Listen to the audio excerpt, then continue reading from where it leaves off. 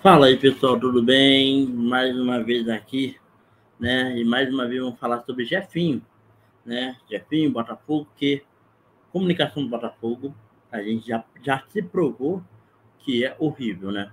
É horrível isso. E também já te provou que nada está concluído no Botafogo. Mesmo o Botafogo tomando uma nota, pode mudar de uma hora para outra pode ser que uma negociação mude de uma hora para outra. Ainda mais com uma empresa que é, que é do João Testor, né? O Testor, ele é dono do Leão e do, e do Botafogo, e mesmo assim ele mudou da hora que ele quis, aparentemente. Muito estranho. Por quê? O que aconteceu? Sábado, o Botafogo soltou uma nota muito ruim, por sinal, dizendo que o Jefinho foi emprestado ao, ao Lyon. Dizendo que assim aumenta a parceria entre Botafogo, Lyon e Resende. Né, que Resende tem uma parceria com o Lyon. E o Jefinho era da base do Resende e Botafogo contratou ele por um milhão de reais para a equipe B do Botafogo. Né? Nisso, passando o tempo, o Sérgio Santana, já no domingo, conseguiu descobrir que o Lyon pagaria ao Botafogo por esse empréstimo de cinco meses é, em torno de 27 milhões de reais. Então, assim, o Botafogo ganharia uma bela grana, por teoria, para o Jefinho ficar cinco meses, né, até julho, em, na França, sendo testado para ver se em uma futura venda para a equipe do Lyon. Até aí tudo bem, ele viajou, isso tudo certo, a, a torcida se acalmou, teve o jogo contra o Fluminense, o Botafogo também ganhou, então ficou uma agenda positiva. Passou a segunda-feira, alegria, chega hoje, o Lyon apresenta o jogador, o Jefinho, e o que acontece? Bota lá que o Jefinho é do Lyon em definitivo até 2027. Saiu essa apresentação, todo mundo estranhou e o Botafogo soltou uma nota.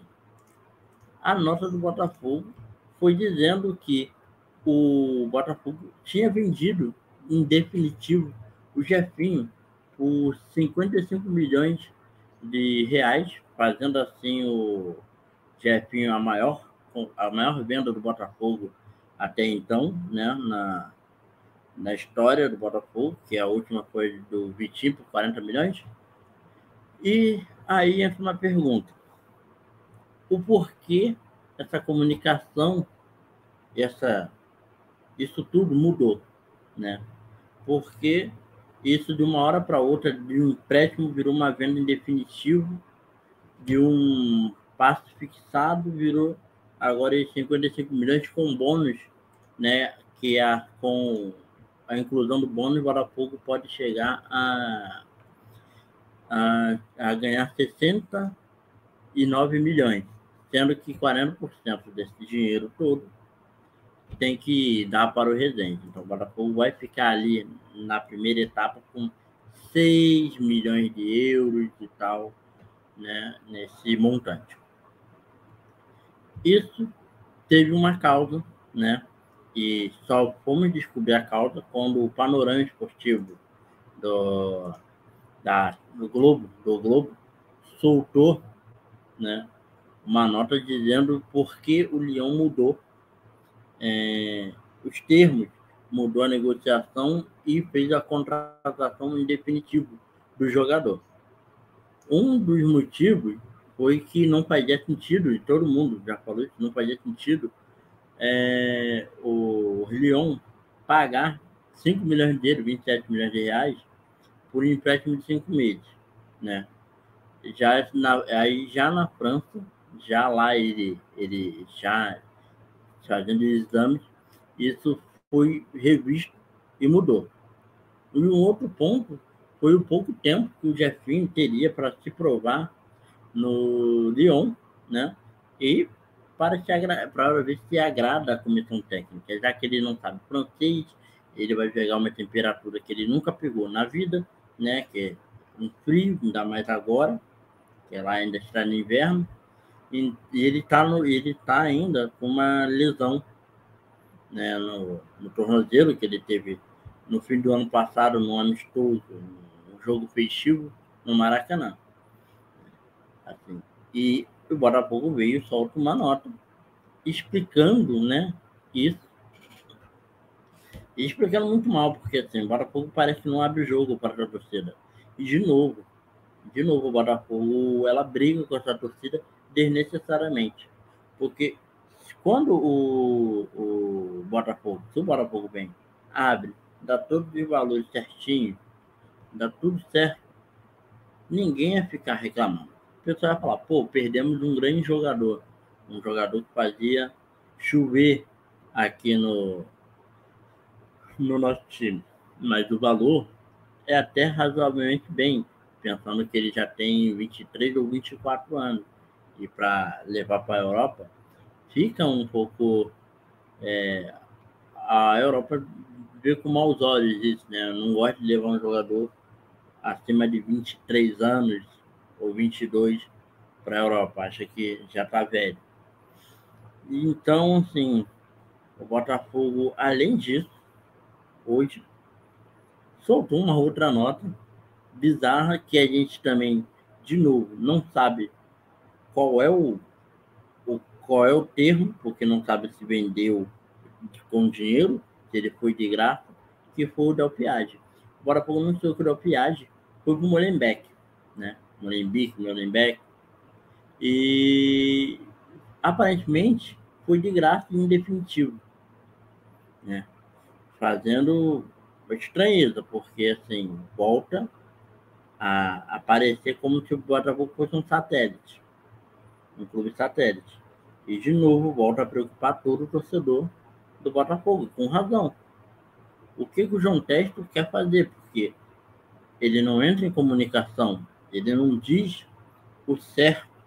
Se o Botafogo vendeu e ganhou alguma quantia, vendeu, repassou o jogador, mas ficou com um do jogador, ou se deu tudo para o jogador e ficou com nada.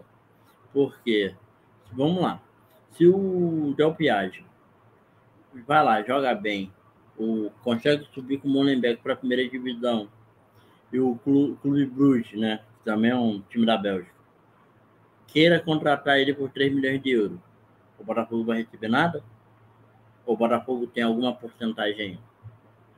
A comunicação do Botafogo tá horrível, tá horrível. E não é de agora que o pessoal vem falando isso.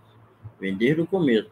O Botafogo, lá quando a história do Vitor Sá, o pessoal falando que o Vitor Sá estava de Miguel, aí depois falaram que o Vitor Sá é, queria pedir para sair do clube por causa que invadiram e nada disso se comprovou ser verdade.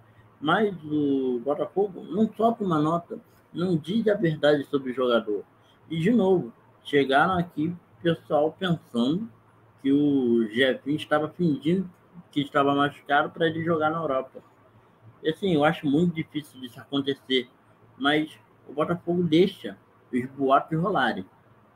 Deixando os boatos rolarem, você não tomando a narrativa porque não informando o seu torcedor é uma, é uma alegria para quem quer fazer boato, para quem quer, quer inventar tudo sobre o clube.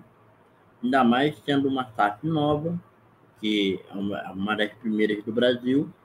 Então, tem gente, claramente, tem gente jogando contra, tem gente rezando para que dê errado.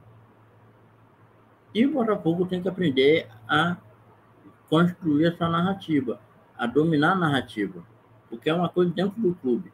O Botafogo tem que fazer essa relação clube-torcedor ser mais próximo, porque senão você vai afastar o torcedor.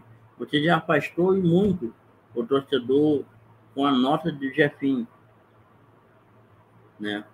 Com a nota do Jefinho. E agora vai de novo com o Del Piage e o, o próximas notas como vão ser?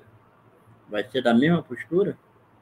Vai ter uma nota vazia que não explica nada com nada. Então, o Botafogo tem que rever isso urgentemente, porque não é a primeira vez E agora foi a mais grave, porque a mais grave que eu digo porque perdeu um ativo muito importante para o Botafogo. O Jefinho era a atração do Botafogo. Em tudo.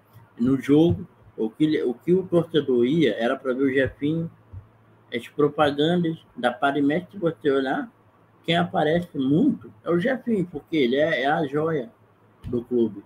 É tido como o, joga, o melhor jogador, um dos melhores jogadores do, do elenco. E faz uma nota bizarra dessa, que vem desde de, de sábado e até agora, numa nota vazia. Se não fosse o Sérgio Santana do, do GE, se não fosse jornalistas, a gente não saberia o que, que aconteceu com o Botafogo, o que, que aconteceu com a venda. Pelo menos até hoje, terça-feira. Porque só hoje, terça-feira, que falou que o Botafogo, o Botafogo se pronunciou falou que vendeu, de fato, o Jefinho e os valores. Então, assim, o Botafogo necessita rever para isso, atrair os torcedores, deixar os torcedores mais próximos da equipe, porque da forma que vem fazendo, só vai afastar o torcedor. É, foi mentira, foi boato que se criou, e o Botafogo também, outro boato que se criou falando que o Botafogo tinha perdido só o torcedor. E não foi verdade, não perdeu. Mas o Botafogo não se pronuncia. O Botafogo não bota as caras em nota em alguma coisa. O Botafogo deixa os boatos rolarem. O Botafogo, João Testa, deixa os boatos rolarem. Isso é muito ruim para a instituição, porque na hora que você está lá, vai tentar contratar um, um, um jogador, o jogador, claramente, ele vai pegar, vai estudar, vai ver lá o, o, o Botafogo. E ver essa zona, ver um disse-me-disse de 500 pessoas, é, é, é complicado. É que nem agora. Estavam falando que. Falaram, né? Que esse dinheiro que o Botafogo iria receber iria para o RTE. É mentira. Esse dinheiro vai direto para a caixa do Botafogo. Não vai para RTE nenhum. Não existe isso na SAF. Então, esse dinheiro do Jefinho vai pro, pro, direto para o caixa do Botafogo. E cadê o Botafogo para falar isso? Não tem. A gente tem que ver, tem que esperar é, maravilhosos jornalistas vir e dar a informação correta. Mas mesmo assim, o estrago já está feito. Esses são os problemas que o Botafogo tem que se preocupar para acabar com esses boatos também. Então, melhorar a nota, a, a venda. Ninguém até está reclamando da venda, o pessoal até está falando que foi ok a venda. Ok. Não foi o dinheiro que a gente pensava poderia ganhar, mas também não foi as migalhas que era no associativo. Mas Botafogo tem que aprender a se comunicar com o torcedor. Senão vai sofrer muito esse ano. Porque se o clube for bem, é claramente bom bater e vão bater muito. E se o Botafogo não der a sua narrativa, vai ficar para trás e vai arrumar muita confusão esse ano. Tá? É, essa foi uma nota. Isso daí ah, vai, vão ter várias agora. Espero fazer vídeos diários. Então, deixa o seu like, compartilha. Se gostou, é, compartilha com os amigos, dá o like. Se não gostou, dá, dá o dislike, comente. E até a próxima, porque virão todos os clubes do Rio de Janeiro. Valeu.